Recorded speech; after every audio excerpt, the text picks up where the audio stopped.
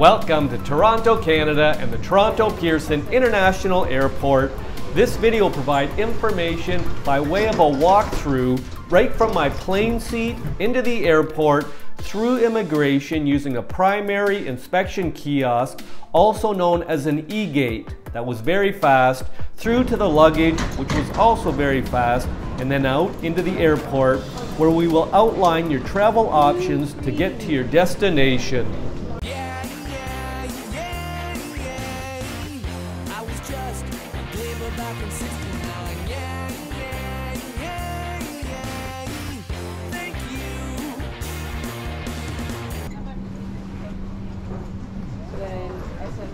Welcome back to my channel and welcome to Toronto Pearson International Airport.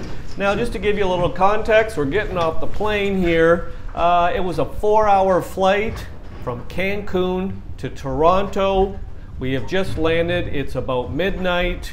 We took off at around eight o'clock. Uh, everything's on time, but like I said, we're arriving at the terminal, Terminal 3 in Toronto Pearson International Airport around midnight here. And I've read all the stuff, everybody else has probably read about this Toronto International Airport, that it was recently voted worst in the world for flight delays and long lines. So I can't say I'm looking forward to getting off the plane here and trying to get home. Like I said, it's midnight already. It's been a long day. We woke up in Playa del Carmen this morning about 6 a.m. Went out for a nice beach walk. Uh, the, if you've seen some of my seaweed videos, seaweed is bad in Playa del Carmen right now. Um, so we had a, a, a, smelly walk on the beach today. Then we were up and down Fifth Avenue, came back to our place. We packed. Somebody picked us up at a shuttle around 3.30, took us to the Cancun airport, which took about an hour and a half to get there. We checked in, no problems checking in. Flight was on time.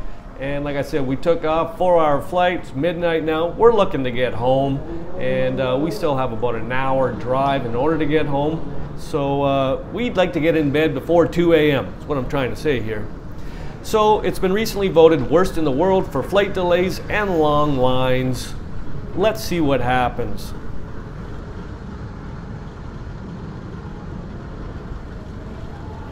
This video is rolling in real time and it's exactly two minutes from deplaning, getting out of my plane seat to, on the right here, you can see the primary inspection kiosks, also known as e-gates. There's no long lineup. We are gonna head to the primary inspection kiosk or e-gate and get this thing rolling. Two minutes from my plane seat to the kiosk or e-gate. That's pretty fast.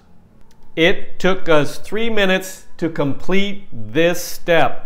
It would have taken us two minutes, but we didn't know what the heck we were doing. So because of some private information being shown on the video here, I'm going to fast forward, but I'm also going to read to you from the Toronto Pearson Customs and Immigration um, section of the computer how to use this PIK or Primary Inspection Kiosk or E-Gate. So it says if you're arriving at Pearson on an international flight, you can use a primary inspection kiosk, PIK, or e-gate to confirm your identity and submit your customs declaration. Up to five travelers living in the same country can use a kiosk together. Now, how do you use the PIK or e-gate? Number one, scan your travel documents, which basically is your passport. Number two, take your photo at the kiosk when prompted. Three, answer a few questions to complete your declaration. And four, take your kiosk receipt to a border service officer. And like I said, it took us three minutes, but if we would have known what the heck we were doing, it would have taken us two minutes. And it says here at the bottom, look for one of our representatives if you need help using the kiosk. Well, we needed some help, but we're on our way, and that was fast. Less than 10 minutes ago, I was sitting on the plane. Uh, we've already been through the E-Gate Immigration PIK Primary Inspection Kiosk, and now we're going for a walk. Uh, the expectations are that we're going to hit luggage pretty soon. Now, I've never done that e-gate thing before. It's always been a long lineup where you had to go and talk to somebody, show them your documents, and usually it took a bit of time. So I'm not sure what the next step is here, if we're going right to luggage uh, or what we're going to be doing. But uh, now they've taken this human element out of it. We went to a machine, we did our immigration customs with a machine here, and we were holding this piece of paper and we're walking around looking to give it to somebody. Now, I, I, probably that's why this place was voted worst in the world for flight delays and long lineups. I've talked to a number of pilots, flight attendants, people that work in the airport here, and I would ask them, what was the problem? Like, why was it so bad? Um, there was a guy named Ray Whitney, some NHL hockey player. One of his videos went viral where he got stuck in the Toronto airport here for 24 hours or something and he couldn't get out and he went snap show and uh, it went viral, whatever his little uh, thing on TikTok or Instagram that he did, and then it all came out in the papers that this place was horrible. So, so far, everything looks okay. Um, I don't know if it's because it's almost midnight, there's not a lot of people around, but that kiosk was, uh, e-gate was super quick, and I'm expecting for us to head in to get our luggage, hopefully, and get on our way.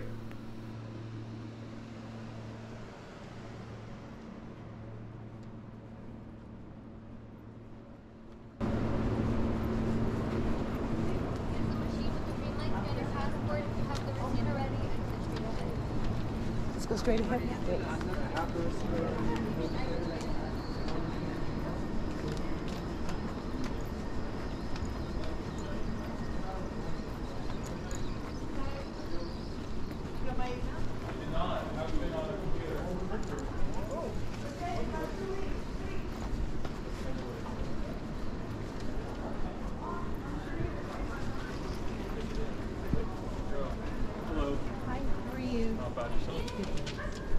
So just down that way, okay? okay? Great, thanks.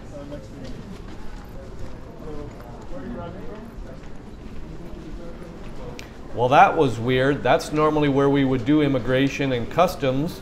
We walked right through that, gave it to a customs guy there. He put a little scribble on the piece of paper, and I guess we're just going to continue on to luggage. So I guess we're officially through customs immigration now. Because it works Sunday. So now we're on to luggage.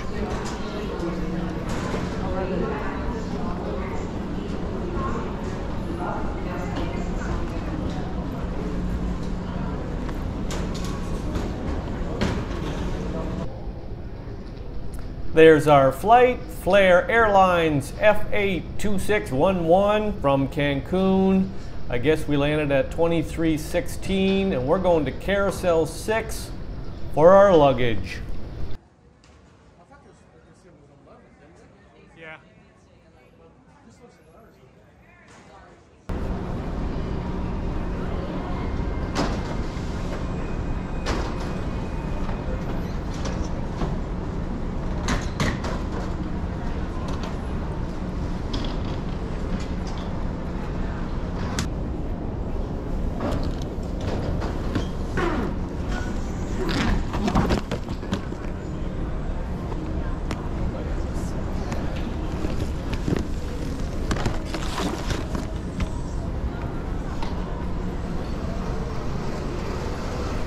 We waited less than five minutes to get our luggage. That's got to be a record. Gone are the days, hopefully, where you'd get off a flight, you'd walk for 10 minutes, you'd get to immigration, customs, wait in line for half an hour, then walk another 10 minutes to get to the baggage luggage here, then wait an hour for it here, and you think, I was already in customs waiting for half an hour. You think that would have been enough time for them to get my luggage off the plane down here so I could have picked it up, but no. So just to recap, it was two minutes from my plane seat to that e-gate in order to do my immigration, which is whatever, the, my primary inspection kiosk, the PIK, also called the e-gate. That took us three minutes. That means we're up to five. Then I think it took us four minutes to walk from that E-gate thing through that section of the airport where we would normally be lining up for immigration for a half an hour, went right through that, talked to one person for three seconds, and continued on here to the luggage slash baggage section. That took four minutes. So you got two minutes, three, that's five, nine minutes, and we waited five minutes here, that's up to 14 minutes. This has to be a, a record of some sort. Um, Pearson International was voted recently, voted worst in the world for flight delays and long lines. I haven't seen any long lines here. This is incredible that I can be at this point 14 minutes after I got off the plane. I don't know what's to come here, if it's going to be so it's going to be a shakedown or whatever, but I can't believe how fast this has been. This is by far not the worst airport in the world. It's pretty good actually.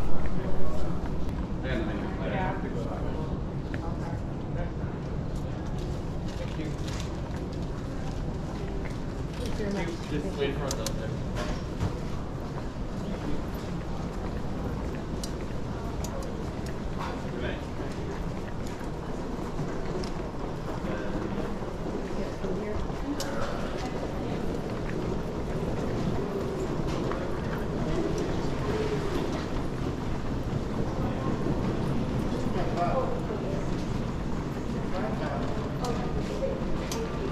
Who's greeting?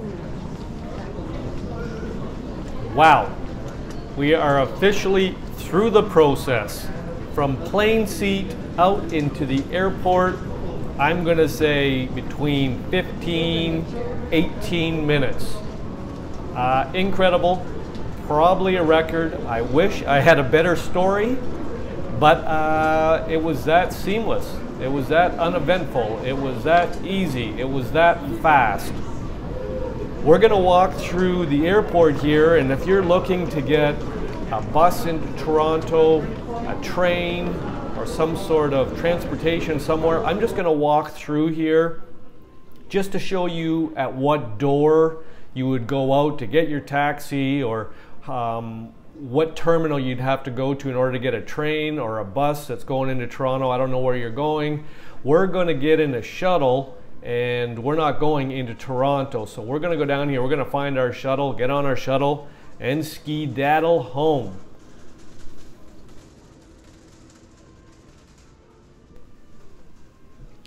I just want to back around here to come to this screen just so if somebody's coming to pick you up, all the information, all the flights are right here for Terminal 3, international arrivals.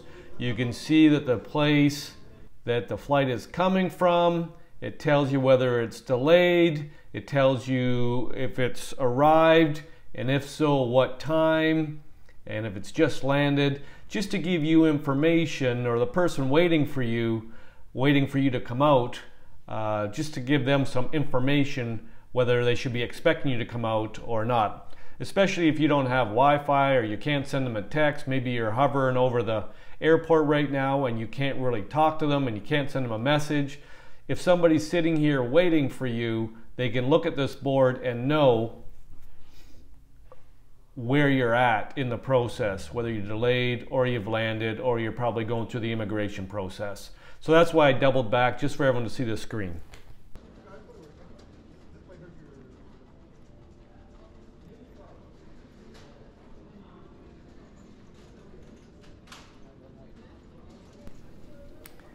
Going to head over to the wall here. Two reasons. There's a Union Pearson Express, which is a train that goes from the airport to downtown Toronto and a number of drop off spots in between. Uh, if you need a ticket or you need to know where it's going and where it stops off, here's the information. Likewise, right above that, there's information about at each door here at the airport if you were looking to get a limo, if you were looking for a car rental, if you're looking for a bus to go downtown, it's going to tell you at every door what is available to you for transportation. I will still walk you through it, but this is a, might be a good diagram for you just to look at.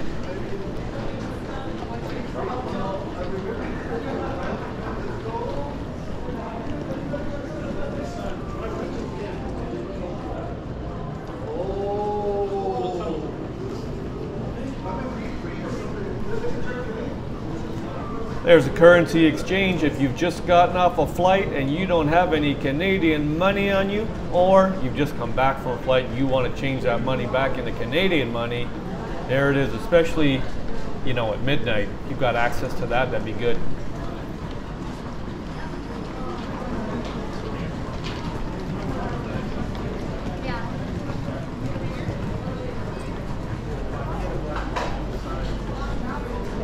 Again, GTA,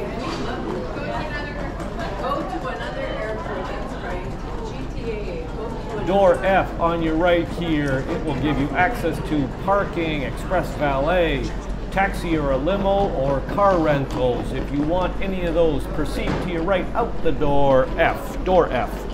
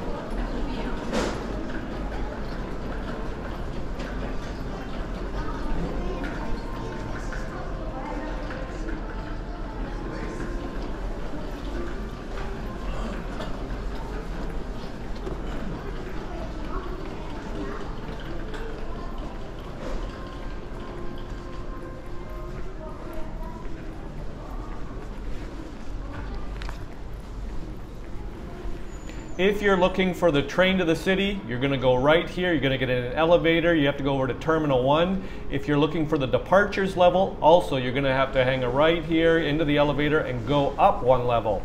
Just up ahead here, there's going to be a desk on the right. It's for the out of town shuttles. We have something booked. So we're going to get in that and go home. But I want to say thanks for coming along on this walk. Right from the plane seat into the airport, the primary inspection kiosk. Some people call it the e-gate. That immigration was super easy. Then we went and got the luggage. It was really fast today. Then we came into the airport. We looked at that screen just outside. And so people are waiting for you. They can kind of know whether you've landed, whether it's delayed, whether you're going through immigration or what's going on. And then we've looked at the walk down here and options. If you're heading to downtown Toronto or somewhere in Toronto, whether it be limo, taxi, bus, train, etc. This was recently voted the worst airport in the world. Uh, this has been flawless as far as I'm concerned. I want to say thanks for coming along on this walk and thanks for supporting the channel. I'm going to say ciao for now.